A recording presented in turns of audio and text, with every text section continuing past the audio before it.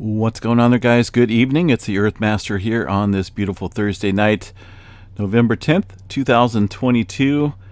It is about uh, 8.36 p.m. California time, and the latest quick up here on the globe shows a 1.5 into the area of Alaska.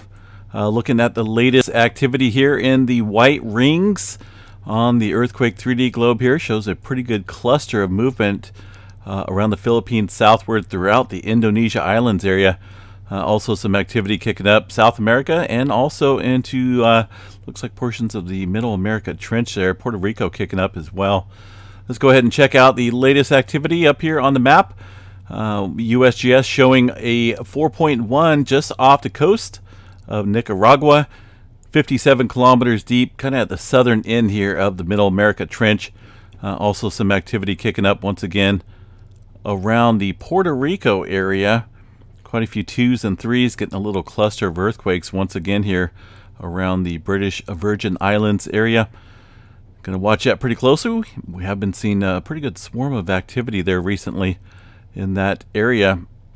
Uh, South America, nothing showing up here above 4.0. Most of that activity on the globe uh, is going to be in the microquake department. Uh, quite a few twos and threes down there along the Peru Chile Trench region. All right, let's see what else we got here. Into the states, lighten up just a little bit around Texas, outside of Pecos. Although down south here, we're noticing a little bit of migration here of the earthquake swarm. Uh, and swarm because most of the activity has been con confined here to the western portion of uh, just outside of Pecos, Texas here. So let's see what we got for the satellite imagery uh, in this wow in this maze of oil rigs and oil pumping operations out here. There's a lot, um, and literally within feet, we got um, a lot of them here. 2.5 at 5 kilometers deep and a massive oil field out there in the desert of Texas. Uh, this area very dry. Man, quite a bit. So uh, with this type of activity and the movement that we've seen earlier this morning as well, uh, I wouldn't doubt if we start seeing some larger earthquake activity out here in this area of Texas. Uh, keep an eye on it. There's oil fields all over the place. Uh, let's see, in Oklahoma as well, getting a little bit of movement into the, well, looks like around the Prairie Valley area. 1.6. Let's see what we got here. Uh, let's see. Kind of hard to tell. Um, these almost, those are some windmills out here. That's what those are. I can kind of see the shadows right there. The the wind, giant wind turbines out there, turbines. Uh, there is some. Uh, it's hard to tell if these are some older uh, oil fields out here. good possibility it could be. But uh, we'll keep an eye on that, see if that increases or not. Uh, let's see, New Madrid zone. We did have some activity from earlier this morning. Nothing throughout the afternoon or evening. Some small microquakes there early this morning. Into the Pacific Northwest. I want to skip Yellowstone real quick here. Let me see what we got. Uh, um, looks like most of this activity from way earlier. Let me bring up the latest map here. Where am I? Where am I? Oh, there we go. Right in the middle. How can I miss it? Uh, as far as localized activity goes here in this area, looks like the majority of that was earlier uh, throughout the afternoon time frame. Just a couple small microquakes around the Yellowstone area. No major swarms, no magma movement, no doom and gloom um, on this map or graph. Uh, into the Pacific Northwest, a little bit of activity outside of Mount Rainier and also Mount St. Helens. Uh, a couple quarry blasts as well throughout the Washington region. Uh, Oregon, pretty quiet. the uh, Northern California region, uh, we did see a 2.0 here in the Northern California area, just offshore into the Cascadia subduction zone. And the Cascadia megathrust area, of course, sits right here to the west. Now, got to remember this is the uh, basically the plate boundary where the subduction zone happens. Uh, and then inland, if you want to point here towards the map, well, is how it, it kind of gets deeper uh, far as that subducting goes. And this earthquake here was 18 kilometers deep, not quite as deep as the tremor. It's kind of upstream, actually kind of closer towards the locked area. The locked area is a portion uh, that sits within the zone of the Cascadia, and it uh, definitely extends all the way up into the north uh, off the coast of Vancouver Island ranges, um, and it ends right here about the Queen Charlotte Sound area. But uh, did see a little earthquake there today in the uh, in a little interesting zone 2.0. Uh, on that that topic, let's go ahead and check out the tremor map here tonight, and most of it there is in Northern California. Uh, a verification there of the uh, pressure kind of back building up onto the locked area. Uh, tremor down dip downstream here, about 35, 45 kilometers deep, well south, or well, well south, not south, but uh, um, deeper than what we've seen uh, the activity here earlier, kind of up towards the uh, the locked area. So a little bit of tremor, kind of uh, uh, showing the stress being built up here along that area. Let's see, Northern California, rest of Northern California, uh, a little bit of movement around the coastal range here, uh, and also some activity around the Cobb Mountain region. 21 earthquakes, a couple of those within the last hour. Uh, of course, the Calpine hydrothermal operations, they're ongoing strong. Bay Area, pretty quiet. One earthquake here just off the San Andreas Fault. It looks like that one coming in earlier this morning, about midnight or so. 1.1 outside of Pacifica. Uh, the rest of the state, uh, nothing going on throughout Long Valley Supervolcano. Pretty quiet up there. We did see a little bit of activity around the Ridgecrest earlier today, and also across portions of the Garlock Fault shear zone, including a recent one of 1.4 uh, listed up here on the map. Little spotty activity throughout the southern portion of the state. Uh, did have a little bit of earthquake activity here within the last couple hours, just outside of the Banning area, uh, and a 1.4, 13 kilometers deep. Again, just off of the San Andreas Fault, the southern segment uh, Got to watch that pretty closely there. All right, let's see. Alaska got some activity kicking up. It looks like throughout the uh, day today and over the last hour. Uh, getting a little bit of swarming up here to the north of the Cook Inlet area. Yeah, let's see a little bit of activity outside of the Brooks or the Alaska range as well, and um, yeah, just a little bit of uptick. Definitely been noticing it uh, over the last couple days here. Haven't really seen too much adjustment down here, or uh, yeah, down here along the subduction zone. But uh, if we continue to see that, might want to watch for some possible larger quakes in that area. Uh, Kuril Trench, this one here from uh, earlier this morning, it looks like 7 o'clock for a 4.4. And a little bit further south, a more recent quake here this afternoon, a 4.5. So we're seeing a little bit of adjustment here, uh, but nothing like I'm thinking we're going to be seeing here pretty soon. That's definitely an area of uh, interest. Around the Fiji Islands area, Tonga Trench. Got a couple earthquakes here earlier uh, this morning and also this afternoon time frame. Noticing a little bit of further deep movement here uh, south of the Fiji area into the Tonga Trench. Down there about 454 kilometers for that 4.4. Vanuatu area uh, getting in on some activity as well earlier this morning, of course.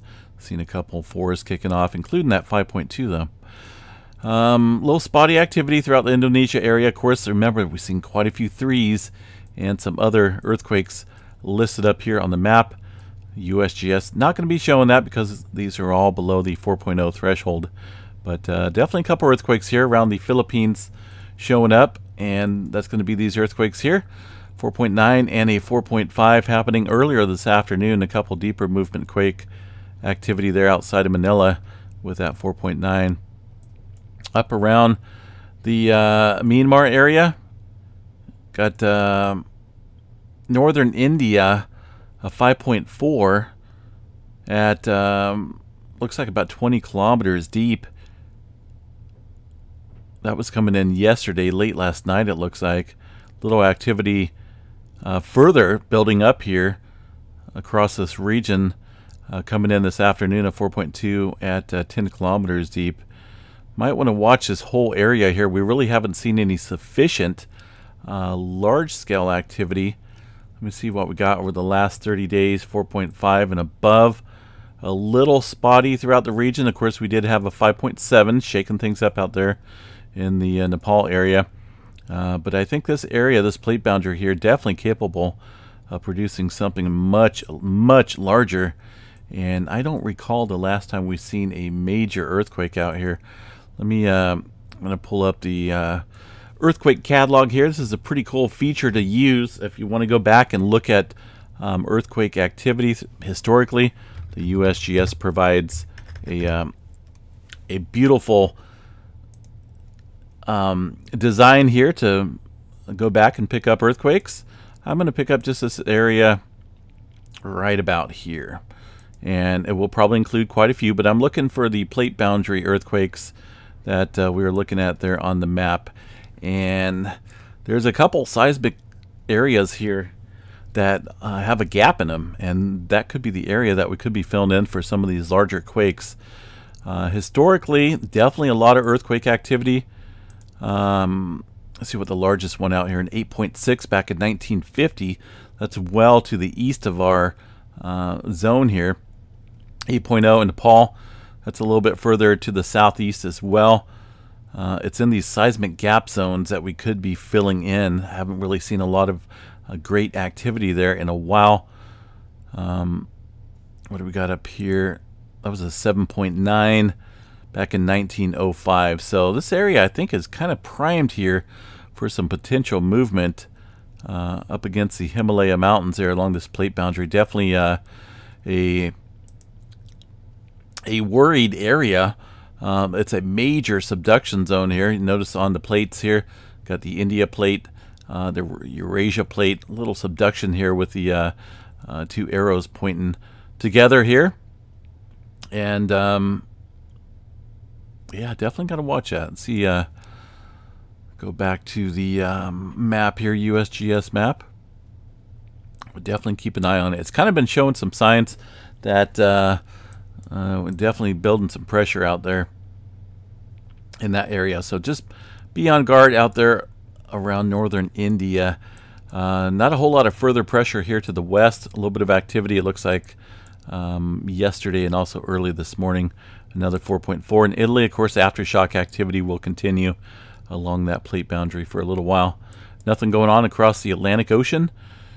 And um, Alaska lighting up like crazy there, but uh, so far no major quakes going on. There's Trident Volcano. Uh, that is kicking up a little bit, looks like. I believe that's Trident Volcano. Yep. A couple small earthquakes uh, within that area. And the volcano hazards map here, let's go ahead and check that out real quick. Uh, see if I can bring that up here. Uh, I know there's a lot, a lot of volcanoes across this area of the Aleutian Trench. There's Trident right here. And I want to check out the, um, see if there's any updates or anything. Doesn't look like there's any updates as uh, far as, um, oops, recent activity goes. And of course, we can do uh, a little look at the um, seismograph station here. But um, let's see here. Uh, it's going to be way overloaded. Those are all images and whatnot. We'll come back and look at some of these uh, seismographs another time. Um, keep keep losing my USGS page here. But either way, this thing, this area has been swarming a little bit, a little bit of activity here and there. Um, no major unrest, but um, still, any type of earthquake activity around a uh, volcano is definitely worth noting. Uh, the Big Island seems like it's kind of calmed down a little bit here. Uh, most of the activity uh, over around the Pahala area, and uh, looks like earlier this afternoon time frame. Nothing within the last hour which is good news. And um, let's see what we got for the volcano hazards here across the Mauna Loa region. Let me zoom in just a little bit. See if I can find Mauna Loa hiding out here. Uh, maybe. There we go. I'm going to check out their update uh, from this morning. Um, looks like that was put out uh, earlier this morning time frame, uh, currently not erupting. Looks like 44 small magnitude earthquakes over the last 24 hours. Uh, also had a 3.6 earthquake yesterday, occurred on the northwest of the summit. Um, looks like all gas and co gas concentrations remain stable at the summit and sulfur cone on the upper south southwest rift zone. Uh, doesn't look like anything has changed, so swarms are kind of coming and going, but definitely worth uh, watching pretty closely here because things can change in a blink of an eye, that's for sure. Alrighty, what else we got here, folks? Um, I think that is about it for earthquake activity. We checked out Tremor, Yellowstone National Park. Again, not a whole lot swarming there. Space weather activity, kind of crackling a little bit with some uh, C flares over the last couple hours, and um, that looks like looks like it's trying to get up there around the M range. Now I know this is coming off of. Actually, look right here. Wait a minute, where'd that image go? Kind of see it on here. It's a little bit more of a of a uh, defined flare, uh, so we know exactly where that's coming from. Looks like that's coming from 3141, and there is a growing spot here. Let me see what we got. This this area right here looks like it's getting a little bit more complex. Notice the closeness here of these two polarity uh, of the magnetic structure here. Um, close, very close together. So that will create some flaring. And uh, looks like that's developing a little bit more of a uh, potential for a of a uh, complex magnetic field, which would create these flares. Um, looks like they've renamed another section up here, 3145. But uh, 3141 has a possibility. Looks like that is starting to kick up a little bit here. When was this image taken here? Kind of hard to tell. Uh, I think that's a recent image. If that's true, notice these are very close here. The blue and the red uh, are definitely close and growing in size. That would make it a little bit more possible for uh, flaring to take place. 50% chance for C flare, M flare at 10, and X flare around 1. It does harbor a beta gamma delta class magnetic structure on the field, uh, magnetic field. So we'll watch that closely. It looks like things are starting to pick up. And, and that image right here, uh, it's disappeared now, but it was coming off of this portion over here um, along 3141. So watch that pretty closely there, folks. Uh, let's see here. No major coronal holes facing us. No major expected uh, events. Again, when these sunspots are directly lined up at us, anything that does pop off will be directed at Earth. So uh, even if we get a pretty good M flare with a um, a subsequent CME, uh, that could be directed at Earth more than likely with the uh, current uh, position of that sunspot. Uh, let's see here. Other than that, uh, we'll keep an eye on it, see if it develops further overnight. again, this kind of reminds me of some popcorn getting ready to pop or sizzle on the uh, you know the pan, popcorn pan, the old-fashioned way. But uh, definitely watch that pretty closely. All right, folks. Again, that just kind of shows you how easy or how quickly things can change in a matter of 24 hours, 12 hours there on the sun. Uh, last night wasn't looking likely. In fact, it looked like those sunspots were decaying pretty rapidly. But um, perhaps 3141 wants to make the uh, wants to make the show, so we'll see if it can do that overnight, uh, maybe tomorrow. All right, folks, have a good day. Good night. Uh, I'm kind of tired. Just enjoying the rest of the evening here with Missy Mimi's. Uh, we appreciate all your happy birthday wishes there on the post on YouTube. And um, she does have a Facebook page and, of course, YouTube channel. So if you can, go over and wish her a happy birthday. She has been seeing all the uh, all the comments on the videos as well, so she appreciates it. I appreciate it. Just got through having a, a pretty good dinner, pretty full, pretty stuffed, and uh, just going to enjoy the rest of the evening here tonight and uh, uh, relax a little bit. So, all right, folks, catch you guys a little bit later on. Uh, coming up on 9 o'clock here, so getting close to that bedtime. Have a good night, folks. Catch you guys a little bit later. Peace out.